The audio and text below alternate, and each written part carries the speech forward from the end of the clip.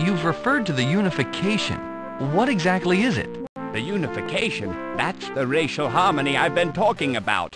When all the races come together and are capable of living with each other, the worlds are key to open their resources to the Mensch, wake up the sleeping Sartan, and ready the realm for the interconnection. Each world set up its own test to determine when the unification occurred. When the Mensch figured out the way into the Citadel, when they worked together to enter it, they will have unified. This was supposed to happen in every realm. After all of them were ready, the Council was supposed to complete the sundering by interconnecting the realms. The new society would begin. But it's been so long. Far too long. Something went wrong. What do you think went wrong with the plan? We took on too much ourselves. We were gods, and we were infallible. I warned Samah that we should wait. There were alternatives, but he didn't listen. He was full of his dream. What is this dragon?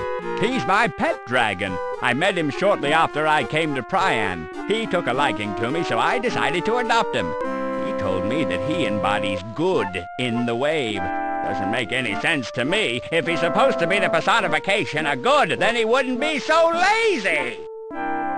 That dragon is the embodiment of good? I know. Hard to believe, isn't it? Especially since he didn't just eat you up as soon as you arrived. Are you implying that I'm evil? Of course not. Are you inferring that you are evil? That may be important. We might be on the verge of a breakthrough. A few more sessions and we'll be able to make some serious progress on your complex. What's the wave? You know, it's when a portion of the audience lifts their arms, followed by another portion, then another until it completes a full circle around the stadium. No, wait, that's different. The wave is a little harder to explain. Reality is balanced. Good and evil can never be more powerful than each other. When that happens, the wave compensates. The dragon was created a long time ago in response to something else. Something very evil. Do you know what the evil thing was? Is, my good man, is. Since my dragon here is still around, you must assume that his evil counterpart is still around as well. I have my theories as to its form, but it's such a depressing subject that I prefer not to talk about it. Enough. Let's talk about something else. All right. How about those Steelers? Think they'll go all the way? Where are the other Sartan? I don't know. Have you seen them? I figured they'd been hiding from me all this time. Some joke. I turn my back for a couple years, take a little moonlight stroll, and they all go away. Well, it's not funny! Where do you think they could be hiding? Well, I left them in the Citadel when I went for a walk. I assumed that they'd be along, but they never came. I haven't seen them since. I found a group of them on Arianus. They were in crystal coffins. Of course they were. The unification has yet to take place on Arianus. When it does, the coffins will open and the Sartan will come out to help the Mensch. No, you don't understand. I did something there and the coffins opened. All of the Sartan were dead. They're dead? All dead? How did it happen? How could it happen? You did this, Patryn, didn't you? Somehow your race has struck back and killed us. Admit it! You're wrong, Zifnab. One of my missions is to find out where the Sartan disappeared to. If the Sartan are dying off, it's not of my doing. Ah, of course. Your people were imprisoned when this happened. You couldn't have had anything to do with it. There's something else out there. Why are you here? I don't know why I'm here exactly. Even though our policy is non-interference when it comes to the unification, I felt I had to help it along. It's been so long and the Mensch have never been so close as they are now. How long have you been here? Alone? I'm not alone. I've got my dragon, I've got the children. I don't need more than that. But it seems like a long time since I've seen any of my people. A long time. Let's talk about something else. You're obviously uncomfortable with this subject. Suit yourself. Where is Pryan's seal piece? Ah, the seal piece. Your lord needs it, huh? You know, there are better uses for it than what he intends. What do you know about my lord? Oh, nothing. I'm sure he's a wonderful fella. Life of the party kind of guy. Am I right? I'll bet he could show me a card trick or two. How do you know what my lord intends? What do Patryn lords usually intend after they've escaped from thousands of years of imprisonment? You think maybe he wants to conquer the realms, reform the world to enslave the masses? No, nobody's that antisocial. What uses? Interested? Well, back in the old days, we had plans for those pieces. Big plans. Plans that make other plans look really small. Really huge plans. And important, woo-wee! You don't get any more important than those plans. That's how we made plans in the old days. Big and important. Well, what were your plans? What plans? Don't try and throw me off track. Where is it? All right, don't get in a huff. Where did we put that piece? Didn't we build something to put it in? Oh, that's right. It's in the Citadel.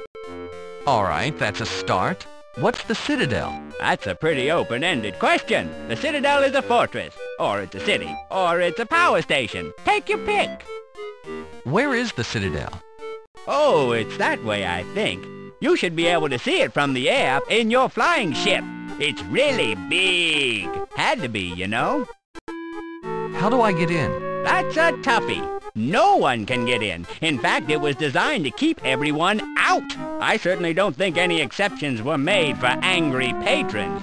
Of course, after the unification, anyone could just walk right through the front door.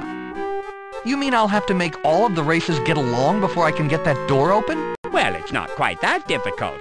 We set up a test to detect when the races started to get along. We gave each a symbol, a golden sword to the humans, a golden staff to the elves, and a golden hammer to the dwarves.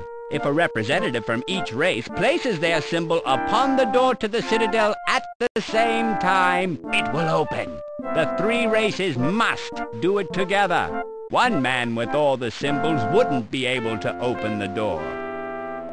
Where are all of those symbols? They certainly didn't take quite the care of them that we hoped they would. Only the humans still revere their symbol, but they look on it as a symbol of leadership instead of its actual meaning, the humans' role in a new integrated society. Every human leader carries it. It gives them the authority to rule. I believe the current holder is the young princess who occasionally comes to my gatherings. The elves threw their staff into a local pit called the Maw. It's been lost for generations. I don't know how the unification can occur until it is recovered. The dwarves, straight-lined practical thinkers that they are, took one look at the hammer, decided that it was the most inferior hammer they'd ever seen, and stuck it deep in their weapons vault. I don't think they even remember that they have it. Isn't there any other way to get in the Citadel?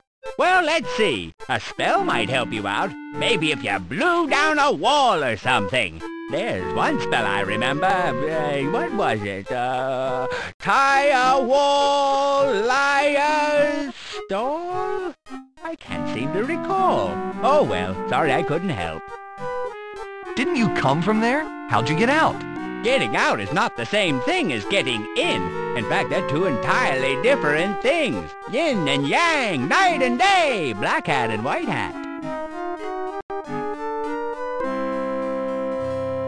Tell me more about the Citadel itself. All right.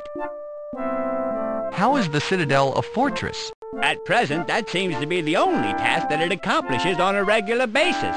All of its other functions were intended to come online following the unification. Right now, the Citadel lies dormant. The Titans roam the forest.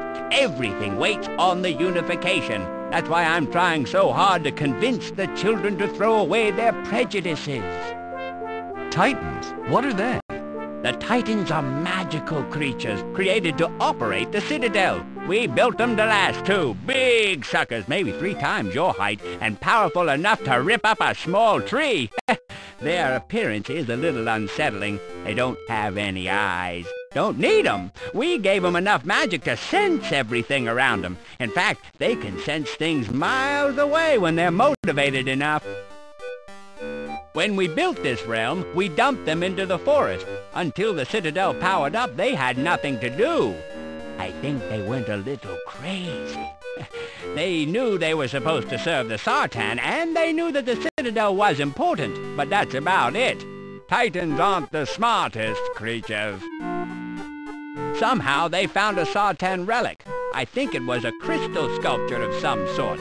Without purpose in their lives, they fixated on it. To them, I suppose it had religious significance, and to this day, they worship it. Against all of our expectations, the Mensch actually encountered the Titans.